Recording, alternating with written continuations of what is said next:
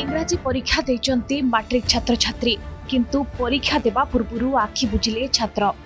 ମୟୂରଭଞ୍ଜ ଜିଲ୍ଲାର ଅଭିଷେକ ପଣ୍ଡା ଭଦ୍ରକ ଜିଲ୍ଲା ଧାମନଗର ଥାନା ଅନ୍ତର୍ଗତ ଜାହାଙ୍ଗୀର ଶାସନ ଗ୍ରାମରେ ଥିବା ନିଜ ମାଉସୀ ଘରେ ରହି ପାଠ ପଢ଼ୁଥିଲେ କୋଡ଼ିଏ ତାରିଖରେ ସାହିତ୍ୟ ପରୀକ୍ଷା ଦେଇଥିବା ବେଳେ ପରେ ଇଂରାଜୀ ପରୀକ୍ଷା ଦେଇଥାନ୍ତି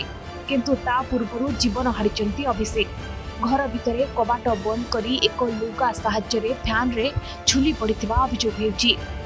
ସେ ଦିନେ କବାଟ ଦିଏ ନା କବାଟ ଦିଆହେଇଛି ମୁଁ ସେଠୁ ଧଡ଼ଧାଡ଼ କଲି ମୁଁ ବାବୁ ପଢ଼ୁଛୁ କି ଉଠୁ ବାବୁ ବାବୁ ବାବୁ ଡାକିଲା ବେଳକୁ ଆଉ ସେ ଶୁଣୁନି ତାପରେ ଏପଟେ ଆସିକି ଝରକାର ପିଟିଲି ତାପରେ ତ ଏଇ କକାହାର ସବୁ ଉଠିଲେ ଉଠିକି ଦେଖିଲେ ସେ କବାଟକୁ ଦୁଇ ଧକା ପକେଇଲାର କବାଟ ବାହାରିଲା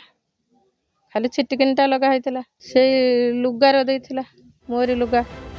सेपटे मौसी घर लोके धामनगर थाना अभोग करने घटनास्थल में पुलिस पहुंची अभिषेक मृतदेह जबत करने सहित व्यवच्छेद भद्रक जिला मुख्य चिकित्सा को पठाई बर्तमान सुधा आत्महत्यार कारण जनापड़ा बेले अभिषेक मौसमी घर लोक मऊसा कहवा कथा मोबाइल को कई जन झील गोटे मेसेज करते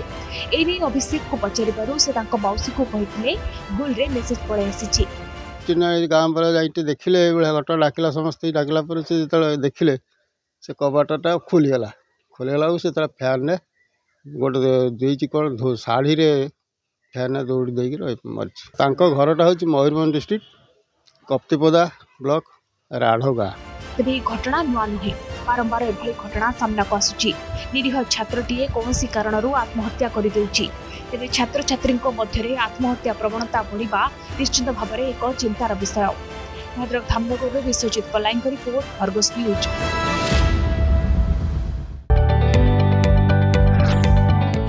जदि आपण को आम भिडी भल लगा तेब आम चेल्क लाइक सेयार और सब्सक्राइब करने को जमा भी बुलां नहीं